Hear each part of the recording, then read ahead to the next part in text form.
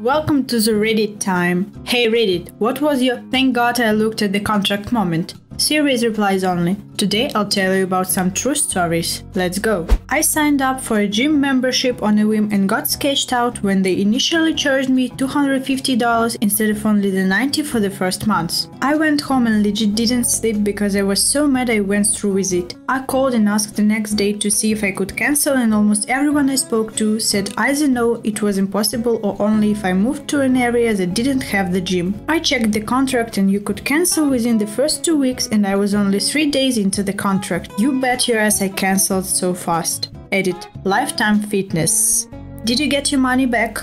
Yup, full refund. Landlord agreed to let me move out a month early since he wanted to lease the apartment to someone else. We had to sign new paperwork to let me out of the original lease and to make me agree to be out by an early date. I knew he was a recently convicted forger, so I made sure to read what I was signing. He'd added the condition that if anything fell through with the new tenant, that I would still be on the hook for rent after I moved out. I called him out on it, and he said, oh yeah, I just added that part to protect myself. Then he stole my deposit. I still need to take him to court for that. Fuck you, John. Do it already, make him pay. Do it for all of us who love you. Do it for all of us who have never gotten a deposit back. There is always some crap the landlord will make up to take your money. Get yours back from me, bro. Went to buy a new phone for $200. The employee told me they were closing soon and asked if I could come back the next day to sign the paperwork. The $200 mysteriously changed to $300 while the document was sitting in a desk overnight. Called them out on it and got it from somewhere else.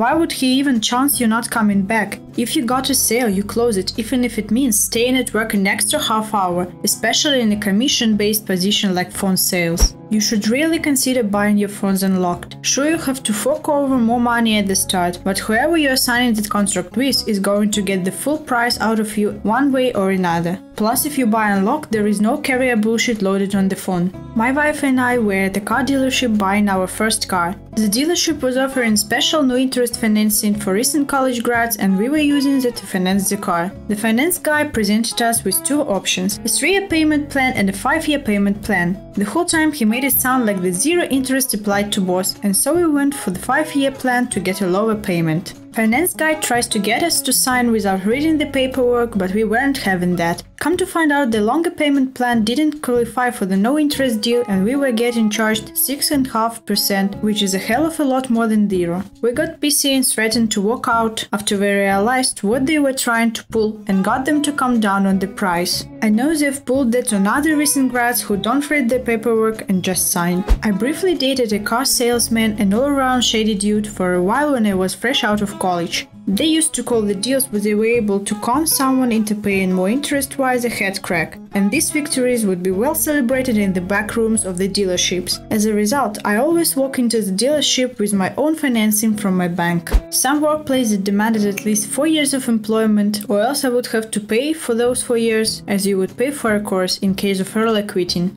How? I feel like that wouldn't at all be legal but I bet they'd send a scary official looking notice demanding their money or else. And a lot of people would either accept it or be too scared to quit in the first place. My last restaurant job had a non-competition clause in the new handbook. I pointed out to coworkers, few signed and it was revised in a week. Non-compete for a restaurant job? What mysterious secrets could they have that no one else does? It's to keep them from quitting. You are more likely to put up with bullshit if you are not allowed to get another job elsewhere. Went to pick up my car from the dealership and it said by signing the paperwork it gave them permission to lend my information to third parties. Nope. What did you do? It was my first time getting my car fixed there, but they wouldn't release the vehicle to me if I didn't sign. I watched them delete my contact information from their system, took my keys and left. When I bought my car new three years ago, the finance department processed and had me sign paperwork at a certain price. Then they called me three days later and told me that their lender fell through and I would actually have to pay an additional $100 a month.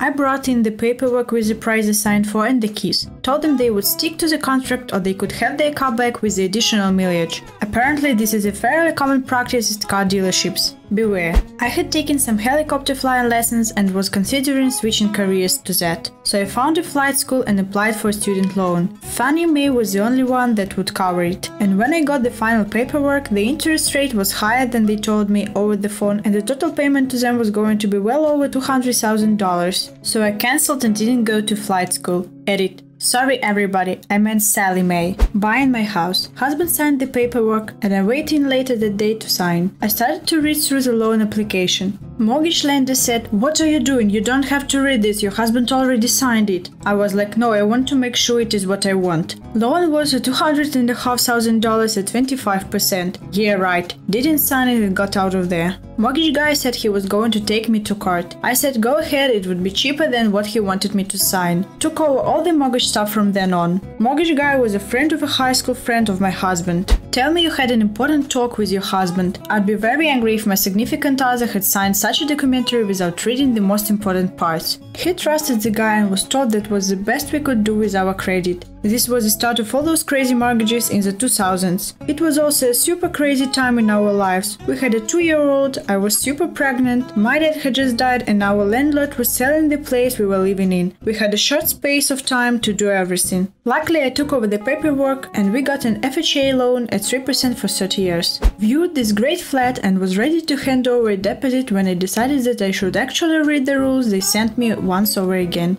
I had read the one they gave me when I viewed the place and it was a bit strict and in general I thought it was silly to have written rules when you're paying that much, but again, nothing I couldn't handle. Same code in I checked. The rules listed in the email were completely different and included gems like if you wish to bring a guest to the house, you must put forth a request in writing at least one week prior and must be approved by all members of the flat. There will be no guests allowed after 10 pm, absolutely no guests staying over. Any guest that comes over will require $20 fee to go towards water usage for toilets. I'm like, you want me to pay over a $1000 a month for my own private room and not be able to invite people to come over without jumping through ridiculous hoops? Noped out real quick. There were a few other ridiculous things, but that took the bonus. We were in the process of selling our business. My wife's car was registered under business. We sat down with our lawyer to discuss what is included in the sale, equipment, supplies, etc. And we clearly told him the car isn't included in the sale. Well, guess what we received? The typed up contract from our lawyer and he had added the car along with other things. Thank God we read it and had it removed before signing it and sending it to buyer's lawyer. Any idea why would he try to screw you over like that? I'm guessing that he was just not paying attention. Let's just say he's not the best lawyer.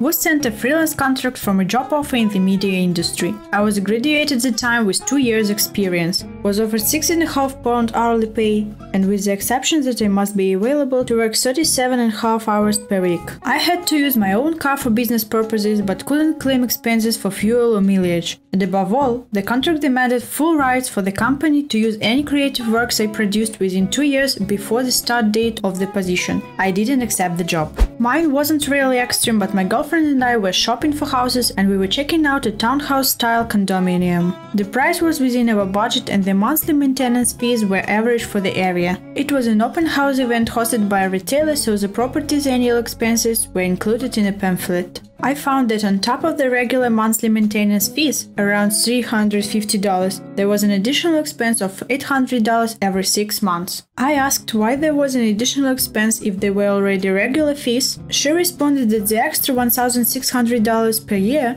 was used to keep the fees low. I responded that the fees are average for the area and many places in the same neighborhood are already lower. Long story short, it was a nice house but we didn't pursue it further. I'm on board with the idea of condo fees if they cover things that I would normally pay for like heat, water, snow removal, garden care, etc. and if needed additional expenses for major upgrades like new roofs or doors or windows. But expecting 12 houses in the Row complex to each kick in a 1600 bonus every year without specific accountability isn't something that interests me. Hey, we keep the fees low most of the year so you can make up the difference every few months. It's an accelerated plan. It lets you pay 16 months of fees in just 12 months. Thank you for watching this video. I appreciate it a lot. Have you ever been happy about watching the contract before signing it? If you have any similar stories, you can comment down below.